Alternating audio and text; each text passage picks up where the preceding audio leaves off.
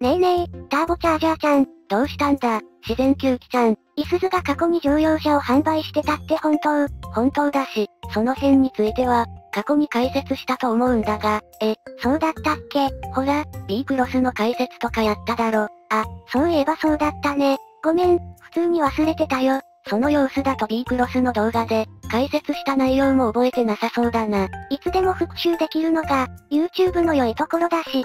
ま、それはそうだが、B クロスの動画を視聴していないよって人は、この動画の概要欄に URL を貼っておくから、時間がある時にでもチェックしてくれよな。一度視聴したよって人も、ちゃんと復習しといてね。自然吸気ちゃんもな、ぐぬぬ。それで、今回はイスズの何が聞きたいんだ。イスズって今はトラックばっかりだけど、昔はどんな乗用車を販売していたのかなセダンや RV、スポーツカーなどが有名だな。へえ、いろんな車を販売してたんだね。その中でも特に有名な車って何？うーん、非常に難しいが、世界的に評価された117クーペは外せない。この車は数あるイスズ社の名車の中でも、代表的な存在としてよく挙げられるからな。初めて聞く社名だけど、そんなに有名なのそりゃあ初めて聞くだろうな。イスズが乗用車を販売していたことを、すっかり忘れているくらいなんだから。痛いとこつくなそれじゃ、今回はその117クーペが、どんな車なのか解説してくれる？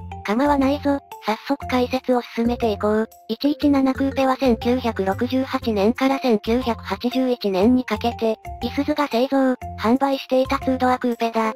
それって1台限りで、そうだ、117クーペが販売を終了した後、後継モデルにあたる車は発売されているが、117クーペ自体は1台限りとなっているぞ。ということは、販売期間は約13年か、フルモデルチェンジまでのスパンが短い、一昔前の車としては長寿モデルだよね。そういうことになる。今でいうビッグマイナーチェンジは、2度も実施されているんだけどな。イスズも力を入れていた車だったんだね。そりゃそうだ。117クーペは長きにわたって、イスズのフラッグシップを務めていたんだからな。フラッグシップモデルの2ドアクーペ、それだけでなんだかワクワクしてくるよ。117クーペが登場する以前のイスズは、フラッグシップモデル不在の状況だった。え、そうだったのラインナップの最上位車種という意味では、イスズ初の自社開発乗用車、ベレルがあったが、初期トラブルや生産工場の立ち上げ失敗など、スタートダッシュを決めることができなくてな。色々と不幸が重なってしまったんだね。その上、翌年に登場した小型車版、ベレットが、新技術を積極的に採用した車種だったこともあり、ベレル自体が非常に希薄なものになってしまう。あらら、それは残念だな。後発とはいえ、弟分のベレットに魅力で叶わないようじゃ、フラッグシップモデルを名乗ることなんてできないよね。その当時、業績が好調とは言えなかったイスズは、競合他社に遅れをとっている現状を打破するために、同社のイメージリーダーとなる車種の開発を急いだ。その車こそが、117クーペってわけだね。そういうことだ。1966年、イスズはジュネーブモーターショーにおいて、ギア、イスズ117スポーツ、スポルト、を出品する。117クーペの元になったコンセプトカーかな。社名の頭につく、ギア、っていうのは何なのイタリアに拠点を置くカロッツェリアだ。カロッツェリアってのもわからないんだけど、車をはじめとする工業製品のデザイン工房だ。ジウジアーロとか聞いたことあるだろわかるよ。著メーカーデザイナーのあの人でしょ。そのジョルジェット、ジウジアーロ氏が、所属していたカロッツェリアがギア車で、117スポーツのデザインを担当したのも、何を隠そう、ジウジアーロ氏その人なんだ。え、そうなの？そういうことなら、デザインは安心だね。フィアットの高性能スポーツカー、ディーノに、よく似たフォルムを採用した117スポーツは、特にデザインの美しさが高く評価されて、欧州地域の名誉ある賞を数多く受賞した。フロント周りのシンプルな造形も素敵だけど、私はリア周りのデザインが美しく見えるよ。この車こそがイスズのフラッグシップモデルにふさわしい。そう思ったイスズは117スポーツの市販化を画策する。確かに、インパクトはあるよね。こうして117クーペの開発が始まったわけだが、見ての通り、117スポーツは非常に美しい車だ。この車の美しさをそのまま市販車に反映するのは、当時の生産技術ではなかなか難しい部分があったんだ。技術的な難しさがあったのか。でも、実際117クーペは市販化されているわけで、どうやってその障壁をクリアしたんだろう。車のボディパネルはプレス機で製作するが、当時のイスズのプレス機では、117スポーツのボディパネルを再現できなかった。また、さっきも言った通り経営状態も悪く、117スポーツのために設備投資するのも難しい。え、設備投資ができない以上は、新しい車の開発なんて無理でしょ。イスズは、117スポーツの魅力を損なわない程度に、ジウジアーロ氏にデザインの修正を依頼した。それだけで状況が改善するとは思えないけど、そして、117スポーツ改め117クーペの、生産工程の大半を手作業で行うことを決断して、なんとか117クーペの市販化にこぎつけたんだ。って、手作業、その熱意は評価したいけど、いくらなんでも、それは無茶でしょ。具体的には、117クーペの大まかなボディラインは、従来の生産工程と同様にプレス機を用いて製作する。穴開け加工や細部の微調整に関しては、手作業で実施するといった感じだった。いすずのものすごい執念を感じるよ。とても量産に適している体制ではなかったため、月産台数は30から50台と非常に小規模だったが、いすずの努力によって117クーペは発売された。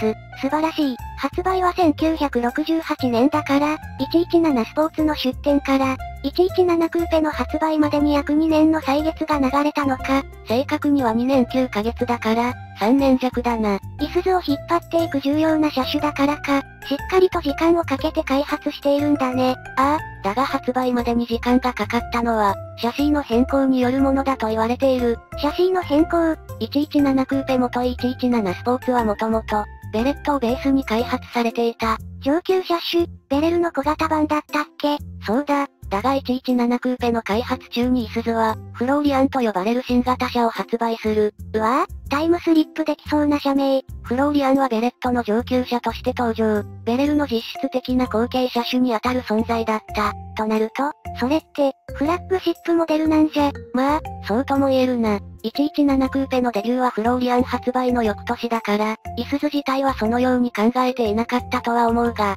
それで、何の話だったっけ？イスズは117クーペの写真を、ベレットからフローリアンに変更した。その辺の兼ね合いもあって、発売に時間がかかったのか。フローリアンと117クーペは写真のみならず、ドライブトレインなども共有していたため、117クーペはフローリアンのクーペ版という扱いになる。へえ、そうだったのか。それじゃあ、フローリアンも117クーペと同様、高く評価されているイスズの名車の一つなんだね。いや、実はそれがそういうわけでもないんだ。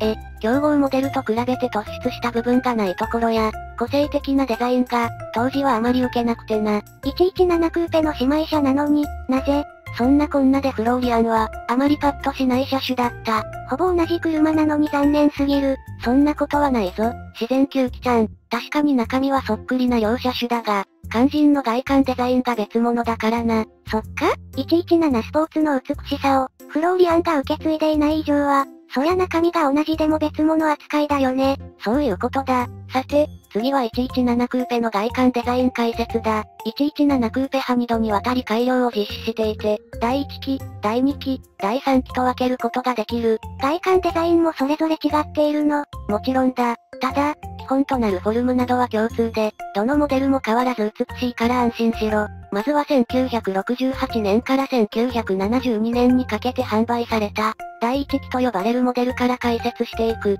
いわゆる前期型のことだね。第1期は手作業による少量生産者だったことから、ハンドメイド117との愛称で呼ばれている。え、第2期以降は手作業じゃないの？まあまあ、その辺は後ほど解説しよう。第1期は最も美しい117クーペと名高いモデルで、その生産台数の少なさから希少性も高いんだ。イスズ好きにとっては憧れのモデルなんだね。丸目4灯を採用したシンプルなフロントマスクで、内側2灯の間をメッキラインが結んでいるよな。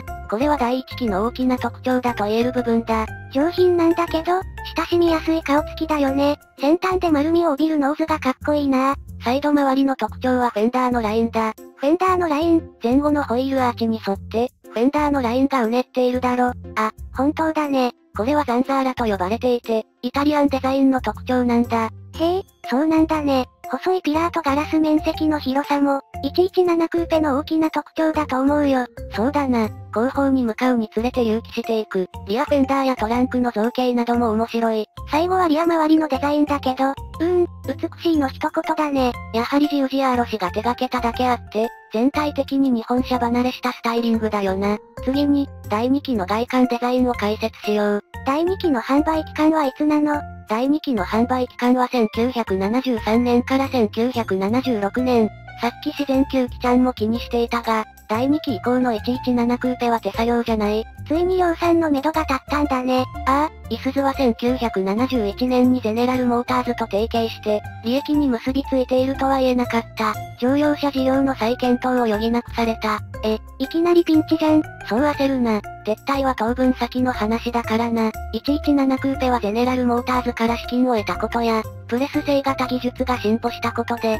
手作業なしでの量産化が可能となった。ふむふむ。それは良いことだね。ファンからすれば微妙かもだけど、これに伴い、117クーペは、量産化に向けて再設計されたんだ。それが第2期、今でいう中期型だね。デザインの変更点としては、前後バンパーの形状変更に加えて、テールランプ形状がワイドになった。さっき第1期の特徴として挙げられていた、グリルのメッキラインもなくなってるね。全体のフォルムなどはそう変わりない。ヘッドライトも丸目4灯のまんまだぜ。技術の進歩ってすごいよな。あとお金が大事ってのもよくわかる。量産化に伴い、第1期から第2期では、コストダウンも図られていてな、量産が始まったことによる希少性の低下、ハンドメイドの特別感がなくなったこと、あとは内外装品質の低下などによって、その価値はどうしても第1期よりも低く、中古車市場でも比較的安値となっている。まあ、それはしゃあなし、というか、ハンドメイドにこだわらないなら、外観デザインに大きな変化はないわけだし、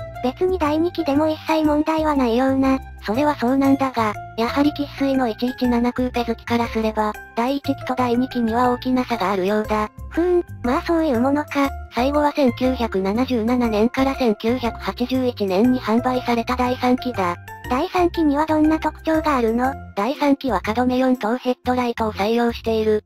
第1期、第2期とは顔つきが全く違うよな。本当だ、精悍な印象が増した気がするよ。でも、丸目4頭の可愛さも捨てがたい。その辺はどっちが優れているという話でもなく、好みの問題だが、人気があるのは丸目4頭だ。高級スペシャリティカーの第1期、第2期に対して、第3期は走りに重点を置いたスポーツカーって感じ。まあ第1期の登場から約10年経過しているし、確かに、走りのレベルは向上しているぞ。第2期と第3期だと、どっちが人気あるの？うーん、やはり第2期だろうな。もはや伝説的な存在とも言える第1期に、見た目が類似しているというのは大きい。ただ、第3期の人気がないわけじゃないぞ。希少価値という点においては劣るけどな。人気、価値ともに基本的には、第1期、第2期、第3期なんだね。117クーペが優秀だったところは、リアセクションを絞った2ドアクーペなのに、フル4シーターとして設計されていて、後部座席の居住性も確保されていたところだ。へ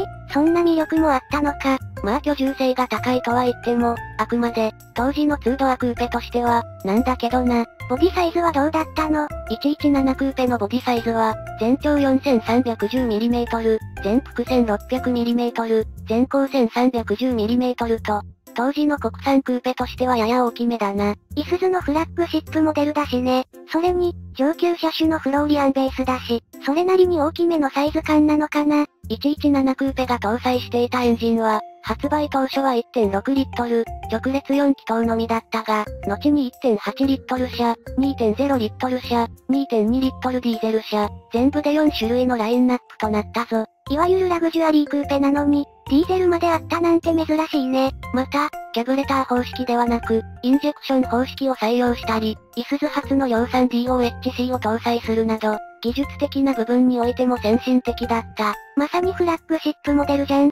これは走りも期待できそうだなそれがな、117クーペの走りは正直、あまり褒められるものではなかった。え、フラッグシップモデルなのに、もっと言うと、9大点は超えているが、特に秀でた部分がないといった印象だ。駆動方式は FR で、足回りも堅実な設計、インジェクション化に DOHC 化など、割と高スペックな雰囲気ではあるし、出力自体もクラストップレベルだった。話を聞く限りでは、割と良さそうだけど、最高速度も高承知だが、190km に達するし、乗り心地も良く、GT カーとしての素質はある。つまり、走りにパンチがないわけだね。117クーペはラグジュアリークーペなんだし、キャラクター的には問題ない気もするけど、とまあ、117クーペに関してはこんな感じだな。何よりもデザインにステータスを振った、イスズ屈指の名車であることが分かったよ。名の知られた車種であり、旧車としても魅力的なのに、中古車相場が意外と安いという点も見逃せない。え、そうなの？フルレストア車やハンドメイド117になると、やはり数百万クラスの予算が必要になるが、レストア前提なら、200万円以下で手に入る。旧車としては破格じゃない？旧車の時点で何かとお金はかかるが、初期投資を抑えられるという意味では、気軽に購入できる旧車とも言えるな。ちょっとカーセンサー見てみようっと。軽自動車の維持でヒーヒー言ってるやつが、旧車なんて維持できないからやめとけ。ぐぬぬ。ちょっと見るくらい別に良いじゃん。欲しくなっても知らないからな。ということで、今回はこれで終わりだ。最後までご視聴ありがとうございました。この動画が面白いと思った人は、ぜひチャンネル登録をお願いします。動画の高評価も待っているぜ。それじゃあ、またねー。